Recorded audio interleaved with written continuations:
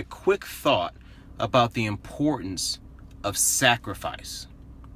Many of us go through life and, and have gone through this year and previous years where you set a goal for yourself, for your family, for your business, and those goals still go unfulfilled or things that you don't really see them come into fruition.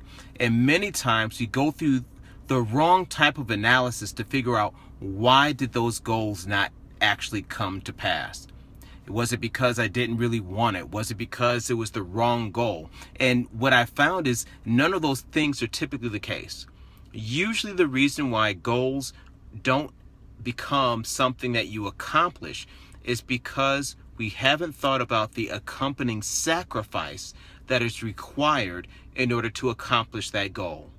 It doesn't matter whether or not it's for your marriage, for your business, for you personally, every single goal that you set out for also has the sacrifice that you will have to do in order to accomplish it.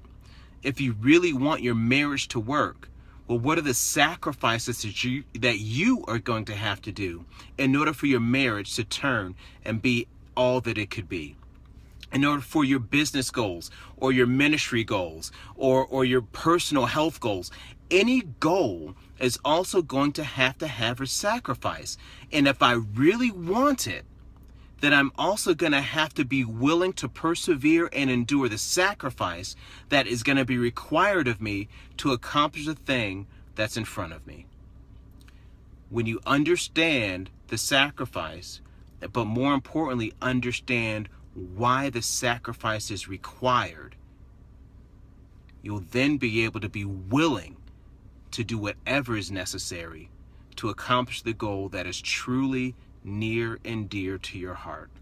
Because it's not about what you're giving up, it's about what you're about to accomplish.